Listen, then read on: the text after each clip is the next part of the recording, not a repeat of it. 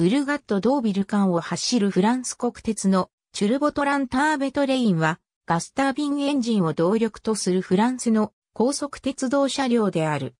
1967年、都市間輸送を目的としてフランス国鉄が製造。以下の4形式が製造され、最終型は2005年まで運行された。最終型はその後の TGV 開発の基礎となった。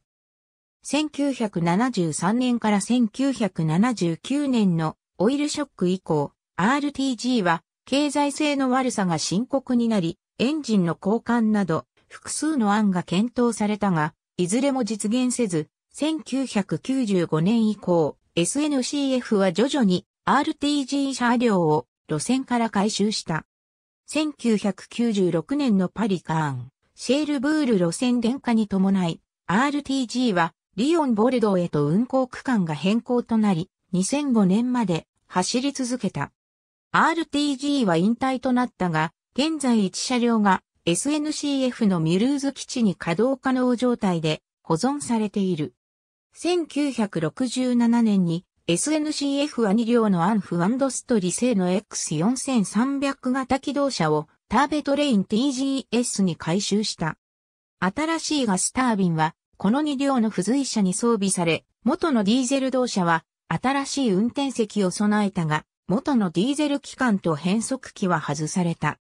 1967年4月25日から試運転が開始された。TGS は1971年10月15日に時速 252km に到達した。これは第一世代の量産型チュルボトランである。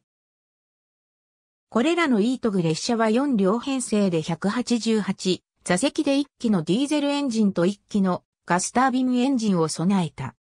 ガスタービンは出力が 820kW のチュルボメカ製のトゥルモ53ガスタービンとフォイト製流体式変速機と1機の出力 320kW のサワー SDHR ディーゼル機関を備えた。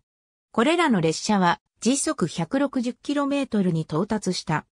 イートグは1971年にパリカーンシェルブールで運行開始した。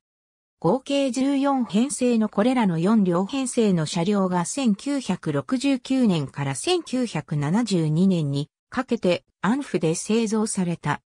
これらの列車は長年にわたりリヨンのベニス検釈で整備されたが1980年代にリオンベイズ部門へ移転した。グルノーブル戦の電化によりクレルモンフェランとメスへ転出した。チュルボートラン。ありがとうございます。